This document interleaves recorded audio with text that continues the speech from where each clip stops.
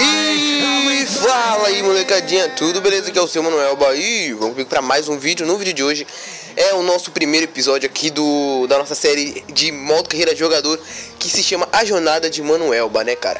Vamos contar a história aqui de um grande jogador de futebol, velho, que começou lá de baixo mesmo, mano. É claro que não vai ser dessa forma, de jeito que todo mundo faz.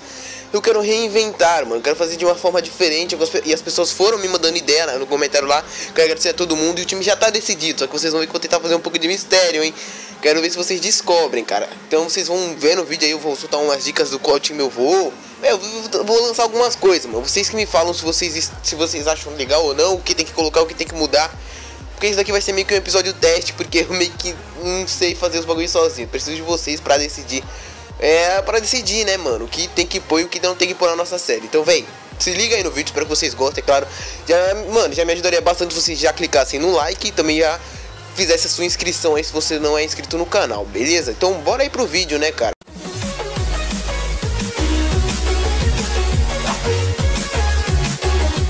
Você está assistindo ao Portal do Esporte. Hoje eu trago uma informação que alguns dos maiores times da Espanha acabaram de anunciar por via redes sociais que vão abrir peneiras para descobrirem novas promessas do futebol. E entre esses clubes estão Atlético de Madrid, Osasuna, Celta de Vigo, Granada, Barcelona, Málaga, Espanhol, Real Betis, Real Madrid, Real Sociedad, Eibar, Sevilha, Valência, Villarreal e Atlético de Bilbao. Esses são alguns dos clubes que estão oferecendo peneira aí para descobrir novas promessas do futebol e todo, todos os interessados. Vocês podem aparecer no CT do clube às duas e meia da tarde, que eles estarão realizando uma peneira. É claro que entre todos que forem participar da peneira, apenas seis irão ser aprovados e irão ter uma vaga no time profissional. Pode ser grande oportunidade da sua vida, então não perca. Beleza, mano. Agora é a nossa grande oportunidade. Vamos para a peneira, né, véi? Serão cinco exercícios e nós teremos a liberdade de escolhê-los e quem e quem for e os que levarem as melhores notas irão ser promovidos, né? Então espero ir bem e quem sabe, né, mano, e garantir uma vaga no time profissional. Então vamos escolher aqui os, os exercícios. Espero escolher certo. Beleza, espero ter escolhido bem. Escolhi posse de bola, bobinho, criação de oportunidades, entrega perfeita e faltas ensaiadas. Vamos lá, né, galera? Vamos começar é, a peneira. Espero ir bem. Espero me classificar e me, que me promovam para o time profissional.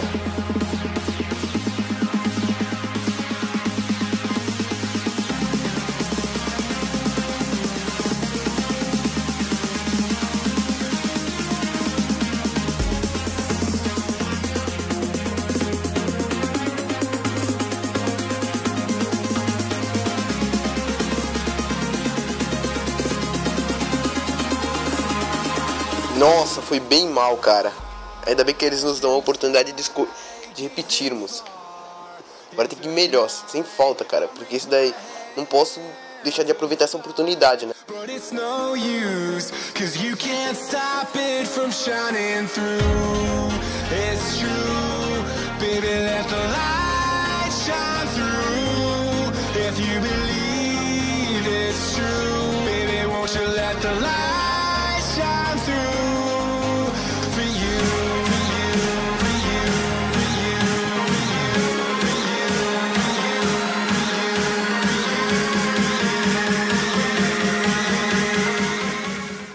boa. Na última oportunidade, espero ter ido bem. Olha, ainda conseguimos uma nota B, cara. É, velho. Vamos. Mano, acho que vai dar pro gasto. Vamos o próximo. Agora, espero ir bem. Vamos... Esse daqui tem que ir bem melhor do que o outro, né? Pra dar aquela recompensada. Porque já que são muitos desafiantes, velho. Tem que ir melhor possível. Galera, uma coisa bem legal é que nesse treinamento eles deixaram nós jogarmos com jogadores profissionais, né, cara? Jonas e Gutierrez grandes jogadores dos times, né? Deixaram eles participarem desse treinamento com nós. Olha lá, mano, consegui um A, cara. Nesse exercício, cara, fui bem, mano, fui bem. Vamos para o próximo. Agora é criação de oportunidades. Vamos nessa, velho. Já temos um B e um A. Por enquanto estamos indo bem. É, galera, realmente fomos bem mal, cara. Tem que melhorar no segundo, porque o meu, eu ainda não sou tão habilidoso assim, né, velho? Então fica bem complicado.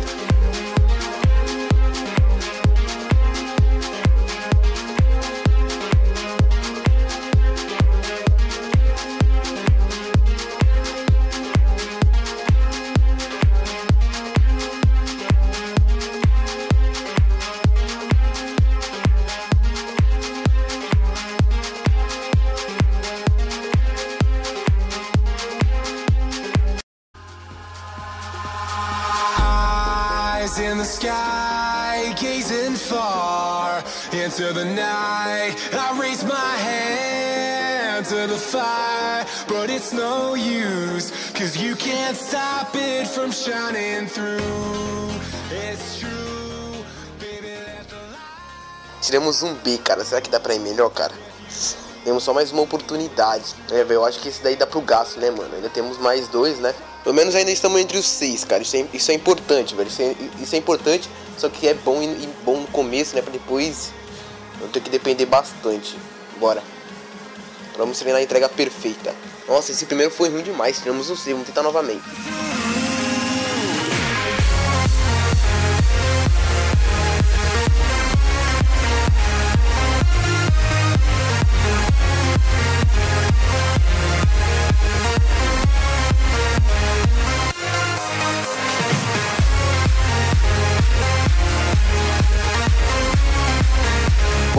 Conseguimos tirar um A, mano. Já estamos entre os primeiros. Espero que no próximo também conseguimos tirar um A. Aí já vamos conseguir nos promover. Caramba, tiramos um D, cara. Com essa nota, sem dúvida, não vamos promover, ser promovidos. Então, velho, tem, tem mais chance. Vamos tentar ser melhor do que isso, cara. Boa, tiramos um C, mas... É, velho, acho que não vai dar pra tirar nada melhor. Então tem que dar pro gasto. Espero estar, estar entre os seis primeiros. É, mano, vamos ver aí os resultados. Espero ter saído entre os seis primeiros e vamos ver qual é o time que nós vamos ser contratados.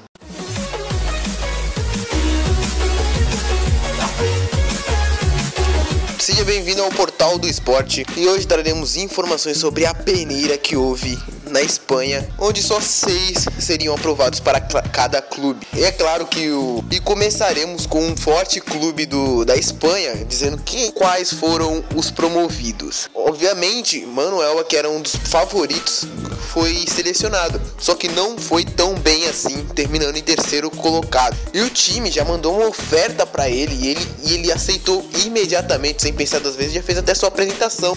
E Manuelba é um novo reforço do Real Betis. Manuel foi contratado pelo Real Betis e vai reforçar e vai ter sua estreia contra Stuttgart, que será pela Copa Internacional Europeia, que será um torneio de pré-temporada. Beleza, chegando aqui no Real Betis, nosso novo clube daqui pra frente, acabamos de receber um e-mail falando das expectativas que o clube tem pra nós nessa, nessa temporada. Então vamos dar uma olhada. Beleza, eles querem que nós tenhamos uma nota média de 6 nas partidas, crie 5 gols, seja armando a jogada ou finalizando por conta própria.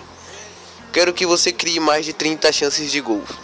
Mantenha um índice de passes certos pelo menos de 5, 65%. Beleza, eu acho que isso vai dar pra cumprir.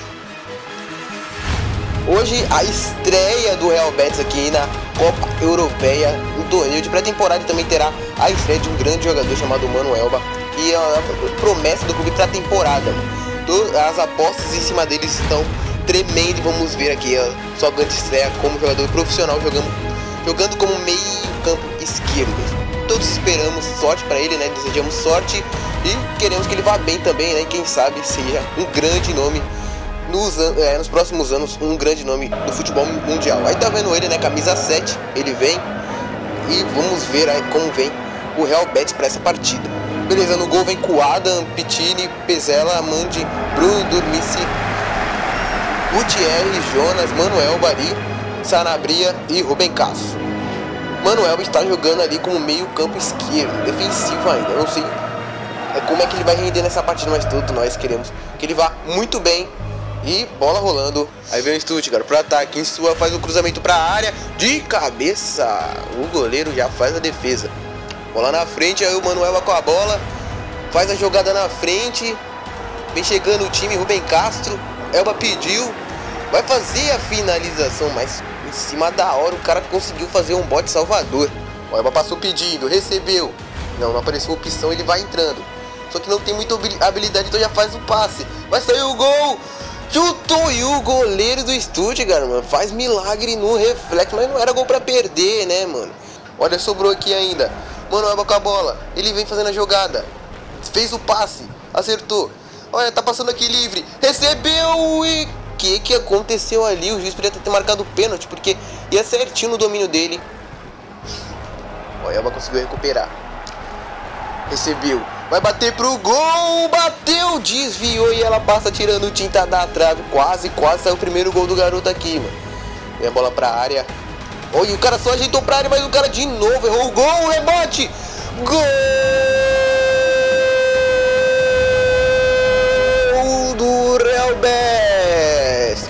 Sanabria aproveitou o rebote e o vacilo do goleirão. Pelo amor de Deus, goleiro. Como tu não consegue encaixar essa bola, mano? E ele chutou e, mano, joga pro fundo da rede, cara. Aquele atacante ali tá muito mal, né, cara? Ele errou aquela finalização e quase, quase, velho, ia tomar uma bronca no vestiário. Só que o Sanabria foi lá e salvou a pele dele.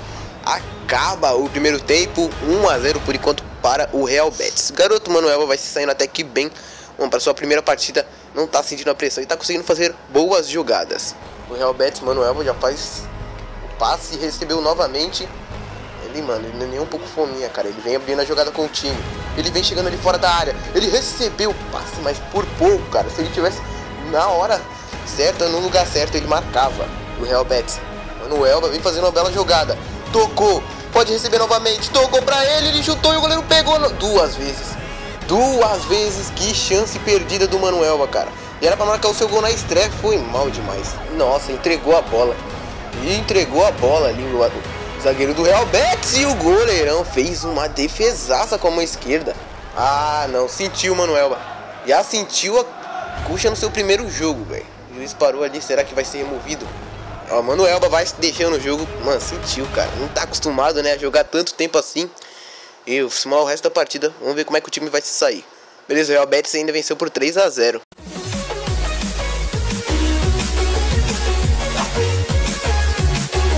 Seja muito bem-vindo ao Portal do Esporte. Hoje falaremos sobre o confronto entre Real Betis e Stuttgart que acabou agora há pouco. Após o jogo, todos os olhos estavam voltados ao jovem promissor Manuelba. Ele não, ele teve uma aparição meio apagada, vai ver que foi por causa da pressão e que tá todo mundo botando em cima dele. Ele foi muito regular, não teve grandes aparições, ainda saiu no final da partida com uma lesão que aparentemente não parece ser grave e já vai retornar para o confronto contra o Werder Bremen. Será que será o grande jogo dele? Então vamos descobrir assim que a bola rolar. Claro que todos os olhos e todos os críticos estão esperando mais dele, né, mano? Porque todos apostaram nele. Ele tem que jogar bem, tem que ser um dos destaques para o jogo contra o Werder Bremen.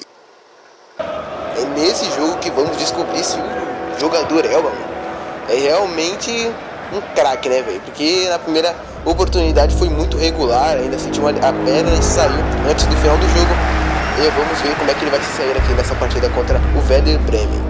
Ainda estamos na segunda rodada do campeonato de pré-temporada e esperamos que o jogo seja de alto nível, né, velho? Você tá vendo o garoto Elba aí também, né, mano? Todos os olhos estão em cima dele porque ele tá sendo considerado pela imprensa uma grande promessa e, mano, tem que corresponder, né? Bola rolando, saída de bola do Werder Bremen. O ataque, bola na frente, chutou! Gol!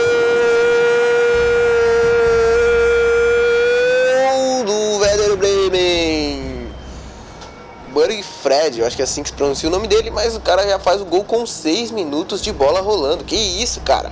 Gol relâmpago, mano, porque não é possível. Mano, eles praticamente não perderam a, a posse, velho. Eles só foram dominando até o gol e já marcam, né, velho? 6 minutos, 1 a 0. Olha, se virou bem, mano. Olha o ataque. Vai mandar o um cruzamento pra área. Mano, leva de cabeça! Gol!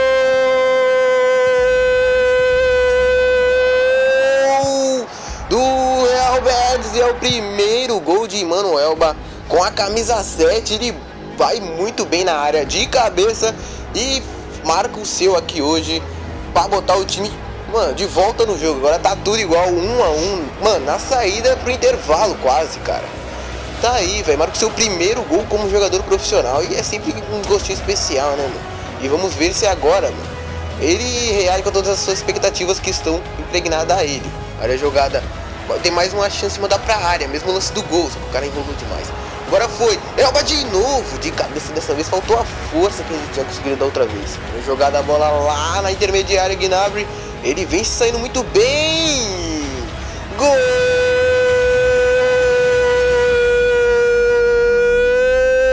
Do. A zaga o Real Betis ainda precisa de umas reformulações, porque o cara, um cara só brincou Mano, deixou três caras babando, porque não é possível. Olha isso, mano. E o goleiro também não cercou muito bem o canto e deixou o canto aberto. O Elba já tá no ataque, cara. E ele é meio campo defensivo, ele vem conseguindo fazer bem a jogada. Ele faz o corte, bateu pro gol! Gol!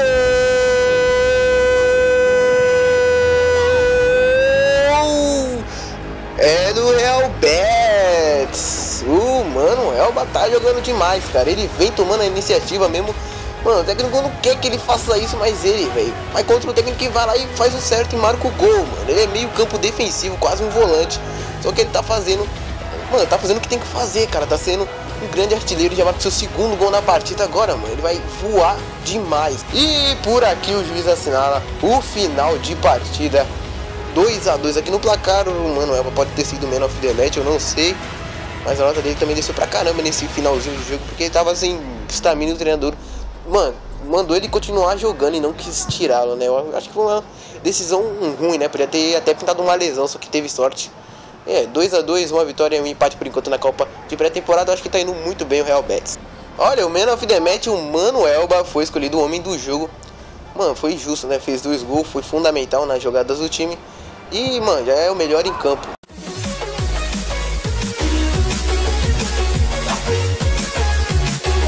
Seja muito bem-vindo ao Portal do Esporte. Hoje extrairemos informações sobre o jogo que acabou agora há pouco entre Real Betis e Werder Bremen. Foi um jogaço disputado até o final, onde o placar final foi 2 a 2 Só que a grande surpresa foi o Manuel, que foi escolhido como homem do jogo, marcou dois gols e será que enfim ele vai deslanchar e vai realmente corresponder a todas as expectativas que estão impregnadas a ele? Tomara, mano, mas esse garoto tem bastante futuro.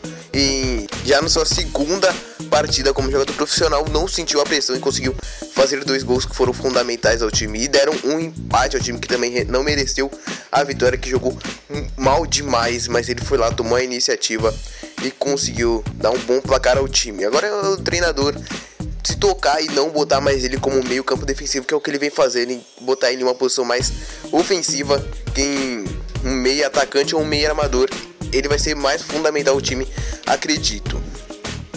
Beleza, galera? Eu vou acabar encerrando o vídeo por aqui. Espero que vocês tenham gostado do vídeo desse esquema. Eu acho que ficou bem bacana. Deixei nos comentários umas dicas, né, pro próximo episódio. Por enquanto foi um episódio de demonstração. Foi o que eu achei que ficava legal.